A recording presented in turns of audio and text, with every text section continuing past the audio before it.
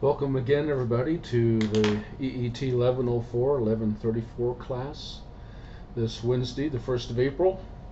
Uh, we're going to do a test review. Uh, actually, it's for chapters 9 and 8. Uh, so, uh, we talk about test review for chapters 9 and 8. Let's think about some of the topics that we have covered here in the last few weeks. Well, one topic that's uh, important to us is mesh analysis.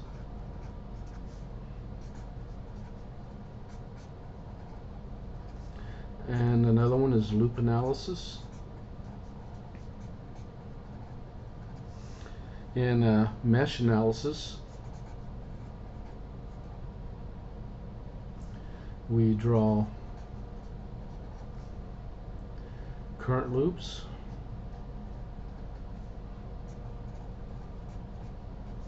And we sum voltages for each loop. For nodal analysis, we circle the nodes. And then we sum the currents. Okay, that's that's the main idea from chapter 8. And then chapter 9, we expand on this a little bit and we get into our network theorems. We have superposition. and that's where we eliminate the power supply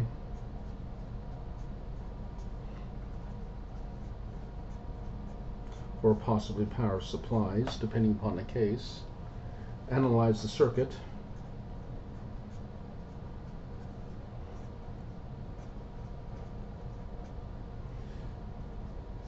Then redo the circuit. Dropping out the rest of the power supplies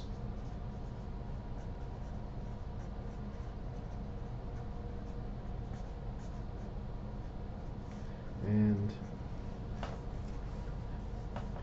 add in the ones previously taken out.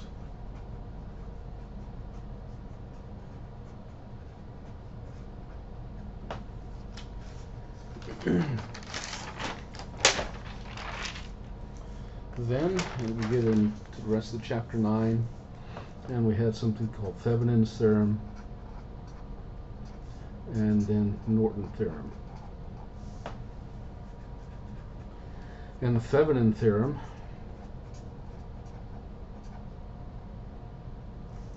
we remove the load resistance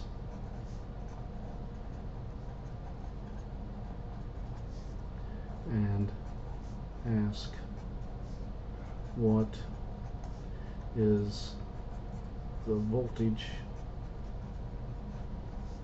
across the gap.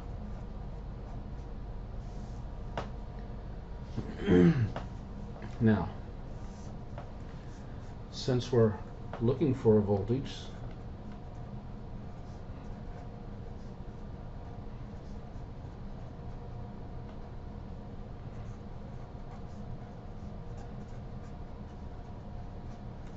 we are most likely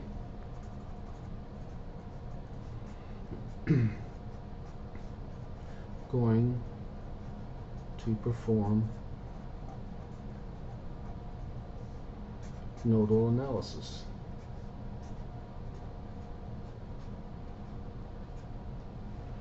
Not necessarily always, but you know, probably over 90% of the time when we're looking for a, a voltage at uh, two points or two nodes in a circuit, we're going to do nodal analysis. Okay, so that's the most common tool that we're going to use when we do Thevenin analysis. and Norton analysis, we remove the load.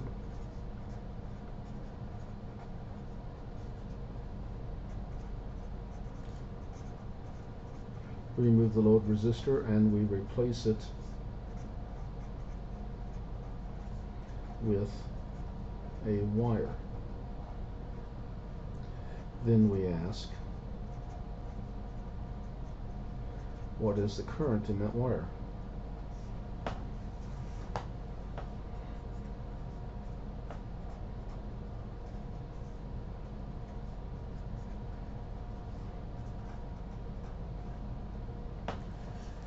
and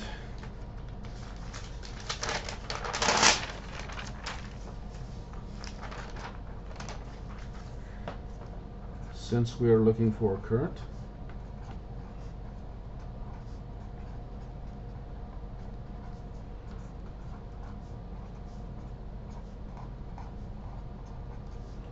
we perform most likely mesh analysis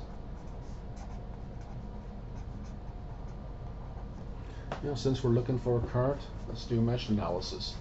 And that's the most direct way to the answer, again, probably over 90% of the time.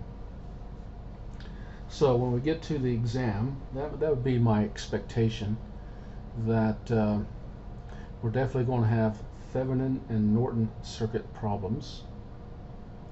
And to be able to do a Thevenin circuit, I would expect to see a mesh analysis. If excuse me, if we're going to do a Thevenin circuit, I would expect to see a nodal analysis. Sorry about that. And if we're going to do a Norton circuit, I would expect to see a mesh analysis. And so, what are we looking for when we have a Thevenin circuit? Well, I would expect to see an answer with a Thevenin voltage in series with a Thevenin resistor and in series with the load resistor, whatever it is. Then in the Norton circuit, I would expect to see a Norton current in parallel with the Norton resistance and the load resistance. Realizing that R Norton equals R Thevenin which is equal to V Thevenin over I Norton.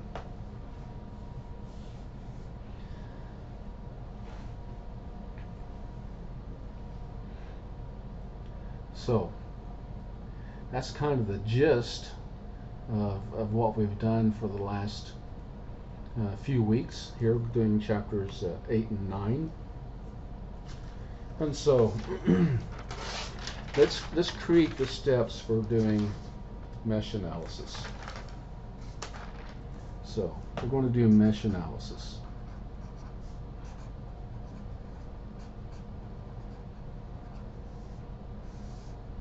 What are the steps? What is the first step? Well, identify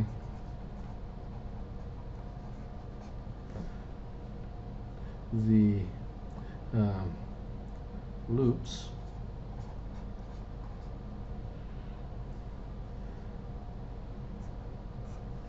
which you know includes drawing the loops, label the loops,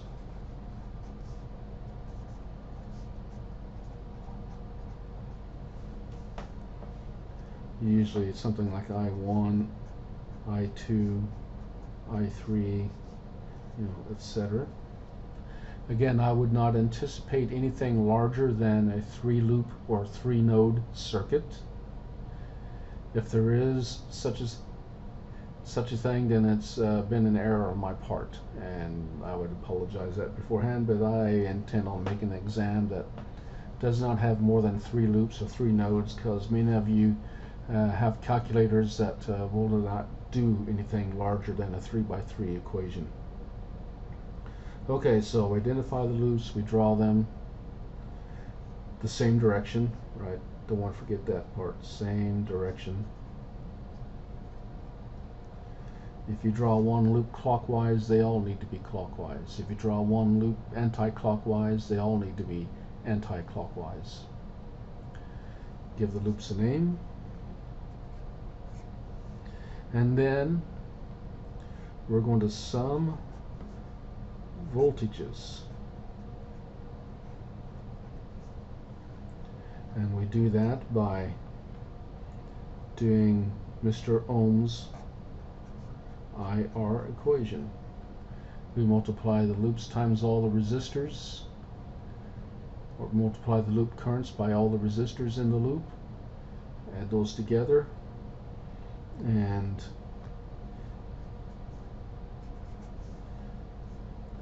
sum the voltages of the IRs, and they will equal zero. So we write those equations, then put the equations into a matrix. And, you know, let the calculator solve.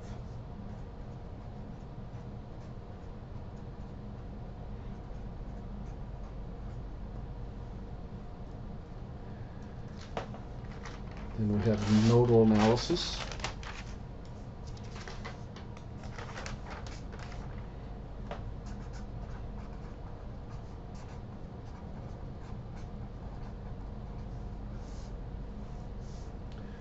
And in nodal analysis, what is step one?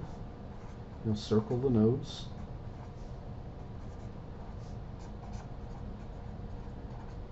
And just a note to make to yourself make sure to follow the wires until you get to an to an A component. So in other words, let's say we have a you know a circuit like this and it goes up here and we got something like that and something like that. You know I make sure I get my loops next to the components before I finish them and start down here follow the wire follow the wire whoops follow the wire all the way here. You know I might make sure I collect all the wire I can in my in my node encirclement. Okay.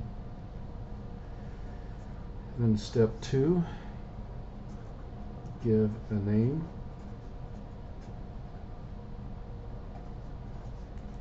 to the nodes. You know, usually something like V1, V2, V3, etc.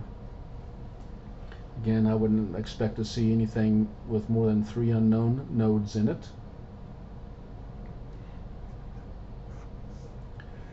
Then we sum the currents.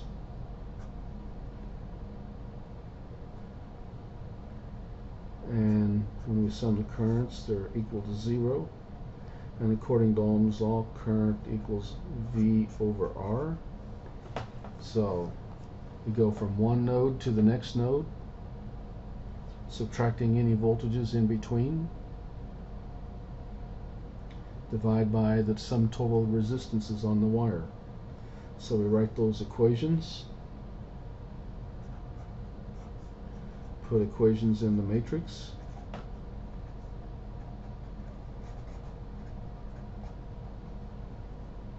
And let the calculator solve.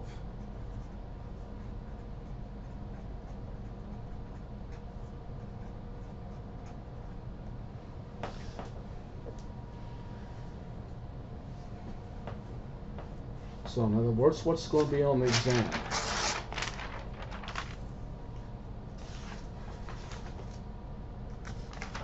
At a minimum, I would expect a superposition problem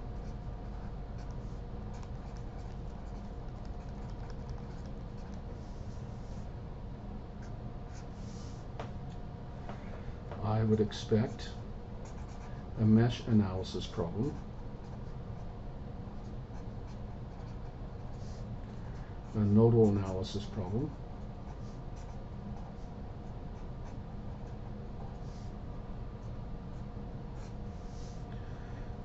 After nodal analysis, uh, we have Thevenin circuit, and then we have a Norton circuit. And perhaps what is most important of all, a maximum power transfer question.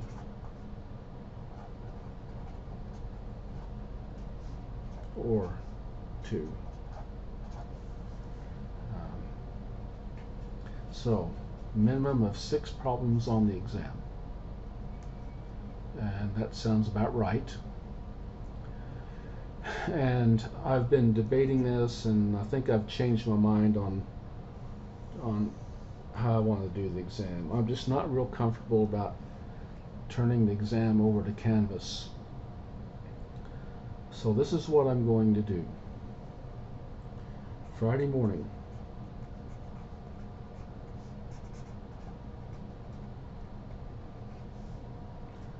I will send an email out to each student.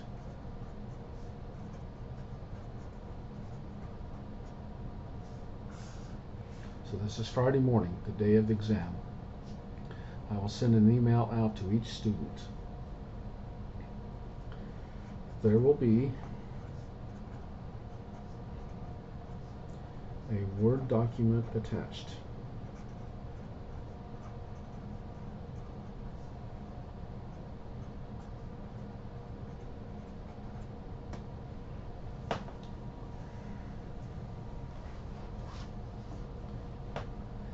That document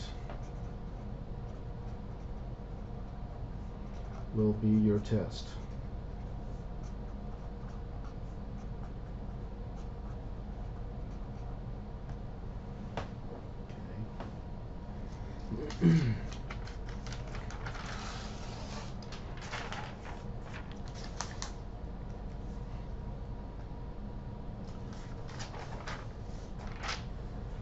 You will have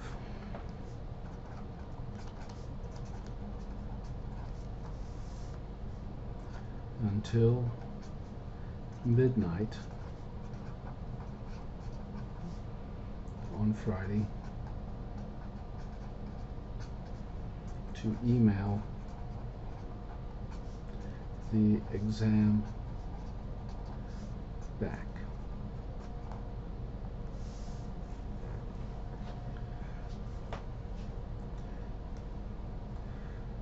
Mean, it can be returned to me in Word. It can be PDF.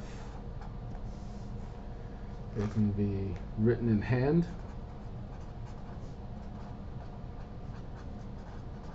It can be written in Word.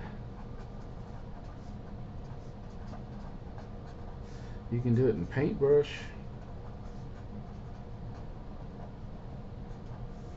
You know, whatever, whatever works for you. Um, matter of fact, I use Paintbrush to draw all the circuits. So if you're familiar with using Paintbrush, it'd be real easy just to copy and paste as needed. And then you can draw your your loops and your uh, nodes and everything just using paintbrush if you want to do that you could even label things in paintbrush you know I find paintbrush easy to use um, some of you may not necessarily but I'm not saying do the exam in, in paintbrush just whatever works for you and then you know either take a good quality picture with your phone, run it into in a scanner and make a PDF or do all the work in Word and Paintbrush or whatever, but somehow make sure that file is emailed back to me by midnight on Friday. Okay, the exam will be open book.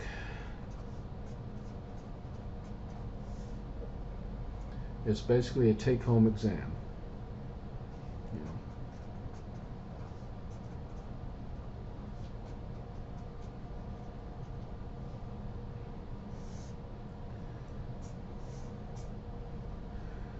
And so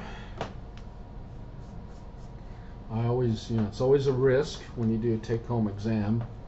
One of the risks is students overthink.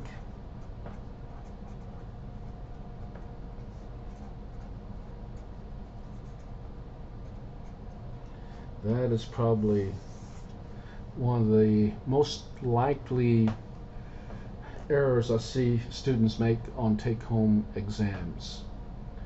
They start to second guess themselves. They start to overthink the problem.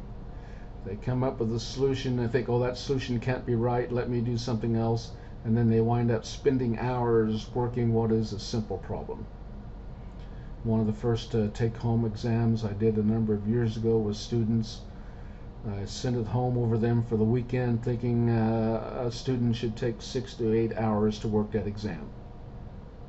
Not that I'm saying you should take six to eight hours on this exam. I'm going to give a regular 50 minute exam in my mind, or maybe an hour long exam. But one of the students came back the next Monday was just furious with me. Uh, she had spent an enorm- enormous amount of time uh, I think uh, the exam was over something like four or five days, a long weekend or something like that. And she came back and said she'd worked somewhere between 40 or 50 hours in that exam and, and couldn't find any answers and was about ready to, you know, to take me to, to town on that. So, and that was not in my intention for students to do that at all. Do not overthink this exam. It's just a regular exam. I'm just giving you more time to work it. Uh, so um, it's open book. You should see it sometime by 9 o'clock Friday morning, and you'll have till midnight that night to work the exam. And whatever format works for you. But make sure you show your work.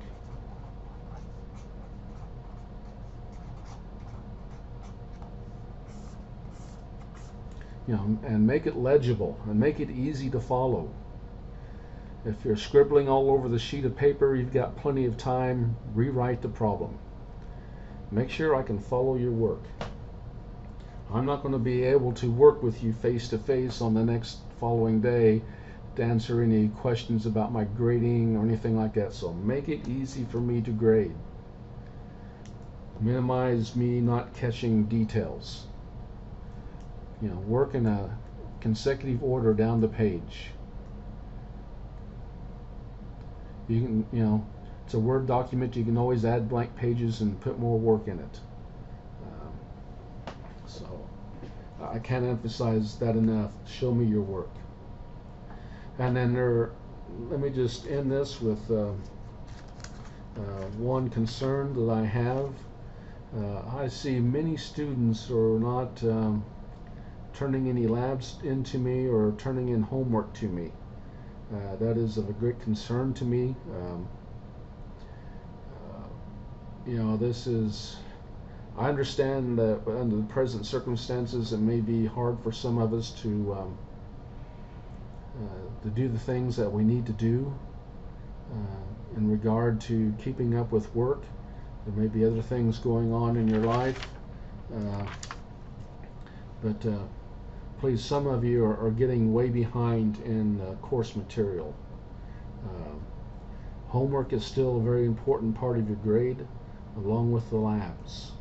Let's make sure we're getting those turned in. Uh, again, if you have any questions, please email me, uh, and I will get back to you as, as soon as possible. Have a good uh, uh, study and prep time for Friday and uh, we'll see how everybody does.